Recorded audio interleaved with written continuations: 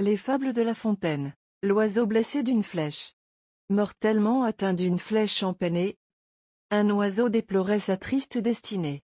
Et disait en souffrant un surcroît de douleur Faut-il contribuer à son propre malheur? Cruels humains, vous tirez de nos ailes. De quoi faire voler ces machines mortelles. Mais ne vous moquez point, engeance sans pitié.